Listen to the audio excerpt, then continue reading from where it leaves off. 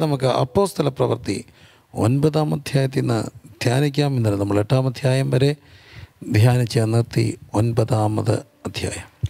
അപ്പോസ്തല പ്രവർത്തികൾ ഒൻപതാം അധ്യായം ഒന്ന് മുതൽ ഒൻപത് വരെയുള്ള വാക്യങ്ങൾ. Acts chapter nine verses one to nine. Saul കർത്താവിന്റെ ശിഷ്യന്മാരുടെ നേരെ ഭീഷണിയും കൊലയും നിശ്വസിച്ചുകൊണ്ട് മഹാപുരോഹിതന്റെ അടുക്കൽ ചെന്നു. ദമസ്കോസിൽ ഈ മാർഗക്കാരായ വല്ല പുരുഷന്മാരെയോ സ്ത്രീകളെയോ കണ്ടാൽ അവരെ പിടിച്ചുകെട്ടി എരിശിലേമിലേക്ക് കൊണ്ടുവരുവാൻ തക്കവണ്ണം അവിടുത്തെ പള്ളികൾക്ക് അവനോട് അധികാരപത്രം വാങ്ങി. അവൻ പ്രയാണം ചെയ്ത് ദമസ്കോസിന് സമീപിച്ചപ്പോൾ പെട്ടെന്ന് ആകാശത്ത് നിന്നൊരു വെളിച്ചം അവന്റെ ചുറ്റും മിന്നി. അവൻ നിലത്ത് വീണു ഷൗലേ ഷൗലേ നീ എന്നെ ഉപദ്രവിക്കുന്നത് എന്ത്? എന്ന് എന്ന് തന്നോട് പറയുന്ന ഒരു ശബ്ദം കേട്ടു. നീ ആരാകുന്നു കർത്താവേ? എന്ന് അവൻ ചോദിച്ചതിന് നീ ഉപദ്രവിക്കുന്ന യേശു ആകുന്നു ഞാൻ. നീ എഴുന്നേറ്റ് പട്ടണത്തിൽ ചെല്ലുക. നീ ചെയ്യേണ്ടുന്നത് അവിടെ വെച്ച് നിന്നോട് പറയും എന്ന് അവൻ പറഞ്ഞു. അവനോടുകൂടെ പ്രയാണം ചെയ്ത പുരുഷന്മാർ ശബ്ദം കേട്ടുവെങ്കിലും ആരെയും കാണാതെ മരവിച്ചു നിന്നു. ഷൗൽ നിലത്ത് നിന്ന് എഴുന്നേറ്റ് കണ്ണ് തുറന്നാറെ ഒന്നും കണ്ടില്ല. അവർ അവനെ കൈക്ക് പിടിച്ച് ദമസ്കോസിൽ കൂട്ടിക്കൊണ്ടുപോയി. അവൻ മൂന്ന് ദിവസം കണ്ണു കാണാതെയും തിന്നുകയോ കുടിക്കാതെ കുടിക്കുകയോ ചെയ്യാതെയും ഇരുന്നു. Hallelujah amen hallelujah praise Lord കഥ നമ്മളെ സഹായിക്കട്ടെ. നമ്മൾ എട്ടാമത് അധ്യായത്തിൽ ഫിലിപ്പോസിന്റെ കാര്യങ്ങളാണ് വായിക്കുക സഭ പരക്കുകയാണ്. എട്ടാം അധ്യായത്തിൽ നമ്മൾ കാണുന്നുണ്ട് ശൗലിനെ കുറിച്ച് കാണുന്നുണ്ട്. അതിന്റെ മൂന്നാം വാക്യത്തിൽ എന്നാൽ ശൗൽ വീട് ദൂരം ചെന്ന് പുരുഷന്മാരെയും സ്ത്രീകളെയും പിടിച്ചിഴച്ച് തടവിലേൽപ്പിച്ചുകൊണ്ട് സഭയെ മുടിച്ചു പോന്നു വീണ്ടും ശബരിയിലേക്ക് ഇങ്ങനെ സുവിശേഷം പരക്കുകയാണ്.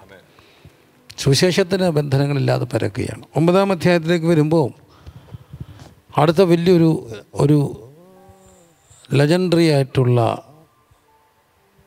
ഒരു ദൈവശാസ്ത്രജ്ഞന്റെ ജനനത്തെ നമ്മളവിടെ കാണുകയാണ്. ഇത് വളരെ ഗൗരവമുള്ളൊരു കാര്യമാണ്. ശൗല ശൗൽ പോകുന്നു. എന്ത് വാങ്ങിച്ചുകൊണ്ടാണ് പോകുന്നത് അവിടെ കാണുന്നുണ്ട്?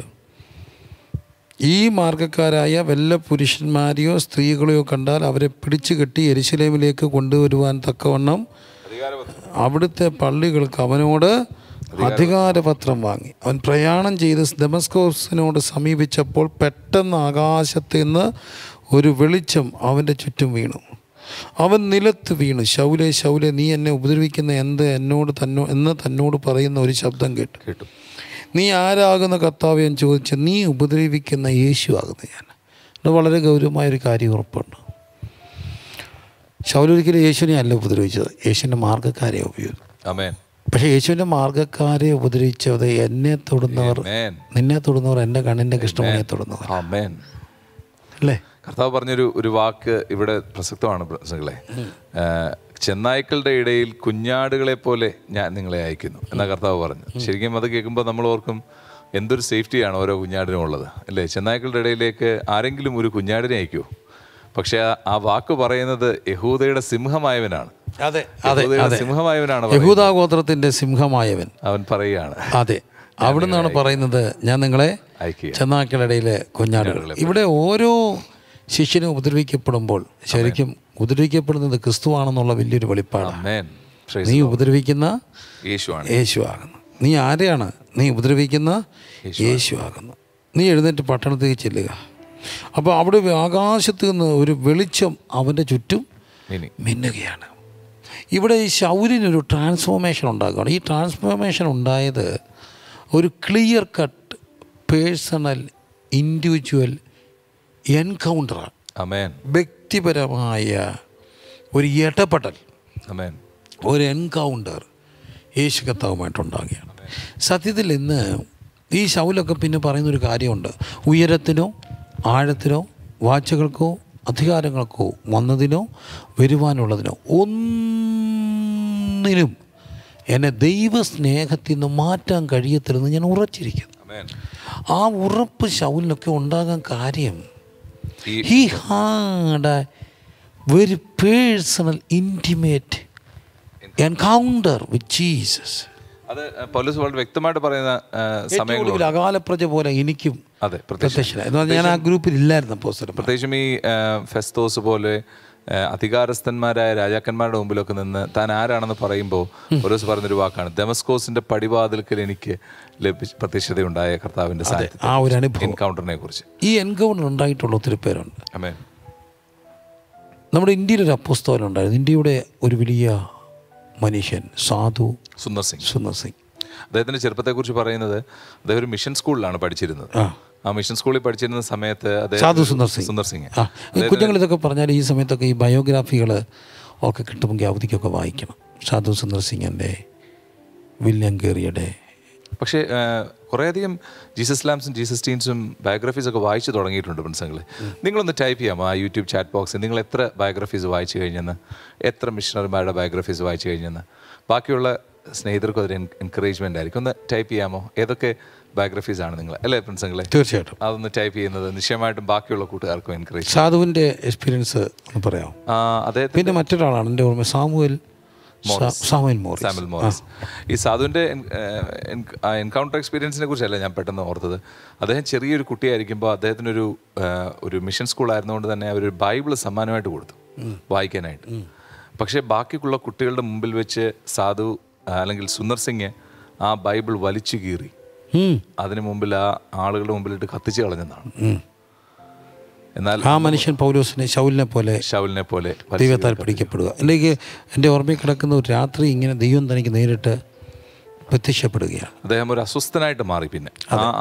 അന്തരാത്മാവിന്റെ ഉത്കടമായ ഒരു അസ്വസ്ഥത ദൈവം ഉണ്ടെങ്കിൽ എനിക്ക് വെളിപ്പെടണം എന്നുള്ള നിരന്തരമായ ഒരു പ്രാർത്ഥനയുടെ ആ ഒരു രാത്രി. ഇനി എനിക്കൊരു ഒരു വെളിപ്പാടുണ്ടായില്ലെങ്കിൽ ഞാൻ ഒരു സൂയിസൈഡിലോട്ട് പോകുമെന്നുള്ള ആത്മഹത്യക്ക് വേണ്ടി ചിന്തിക്കുന്ന രാത്രിയിലാണ് ദൈവിക പ്രൈസ് അതാണ് സാധുവിനെ പിന്നെ ഈ അപ്പസ്തനായിട്ട് മാറ്റിയത്.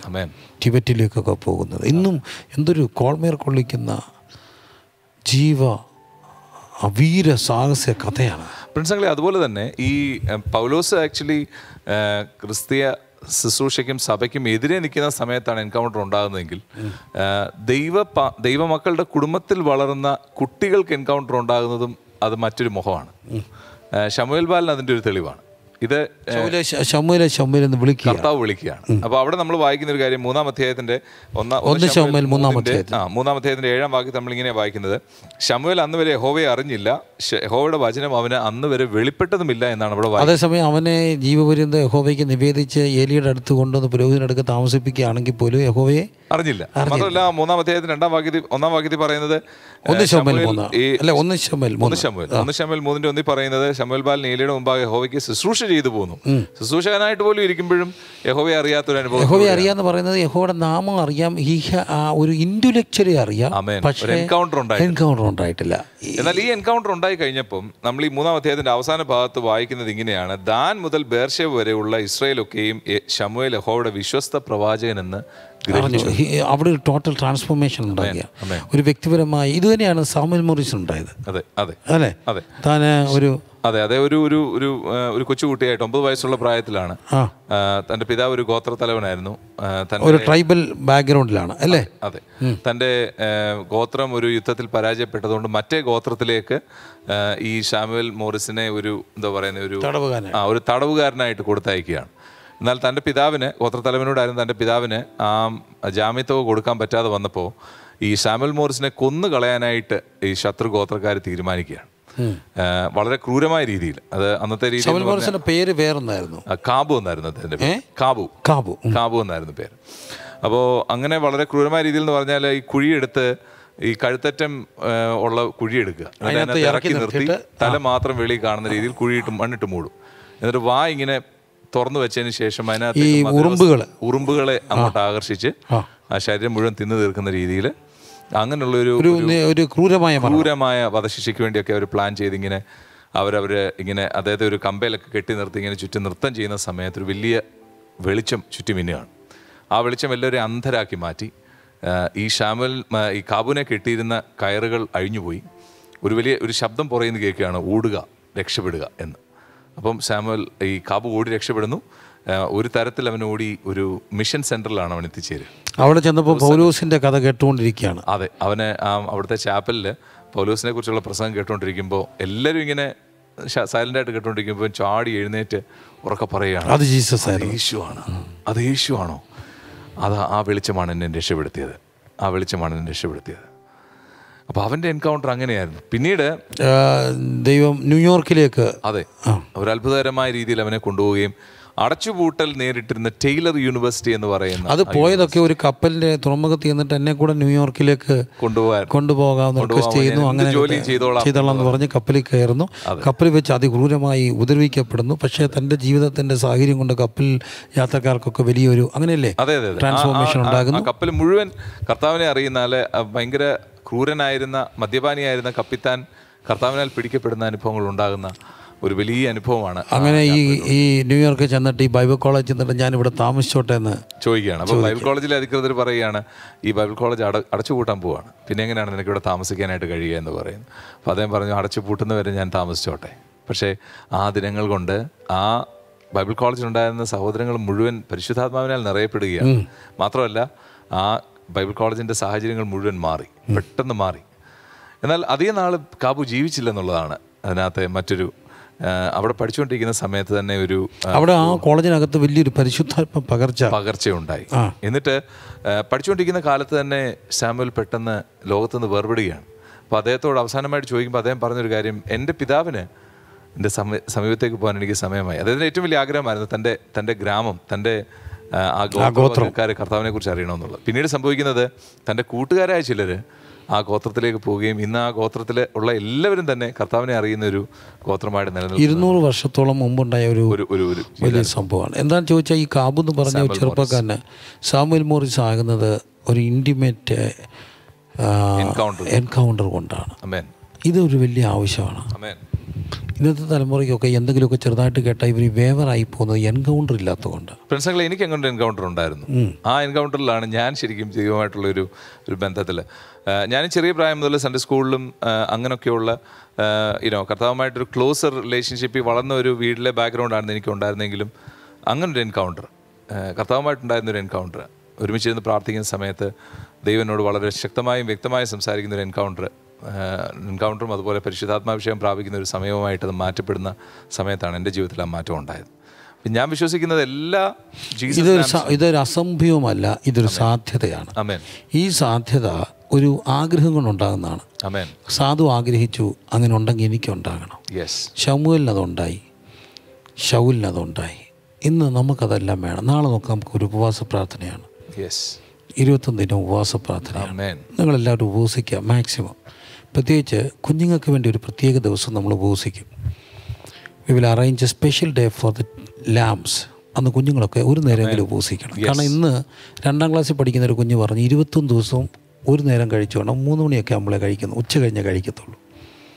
വളരെ സിം അത്രയും പറയുന്നത് അത്ര സ്ഫുടമായിട്ടല്ലെങ്കിൽ പോലും എന്ന് പറഞ്ഞാൽ അവർ കുട്ടിത്തമുള്ള കുഞ്ഞ്. അവനത്രയും അവനത്ര എനിക്ക് ഭയങ്കര സന്തോഷം തോന്നി. ഇരുപത്തൊന്ന് ദിവസം ഉപവസിക്കാൻ തീരുമാനിക്കുക അപ്പം നമുക്കൊരു സാധ്യത ഈ ഇതിനകത്തൊന്ന് പ്രാർത്ഥിക്കാം. എനിക്കൊരു എൻകൗണ്ടർ വേണം. ദൈവമായിട്ട് yes I need an encounter with our Lord അങ്ങനെ ഒരു എൻകൗണ്ടർ ആഗ്രഹിക്കുന്നവരൊക്കെ നിങ്ങൾക്ക് അത് ഒരാഗ്രഹത്തെ ഒക്കുമെങ്കിൽ യൂട്യൂബിൽ ടൈപ്പ് ചെയ്യാൻ ഒക്കുന്നവർ എല്ലാവർക്കും ഇല്ല.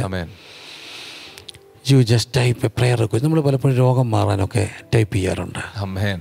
കടം മാറാനും ഐ എൽസ് എഴുതാനും വിസ കിട്ടാനും ഒക്കെ പ്രാർത്ഥിക്കുന്നു എത്ര പേരുന്ന് പ്രാർത്ഥിക്കും. എനിക്കൊരു എൻകൗണ്ടർ വേണം. I need an encounter with our Lord ഞാനത് ആഗ്രഹിക്കുക. എന്റെ കുടുംബത്തിന് അത് വേണം. എനിക്കത് വേണം.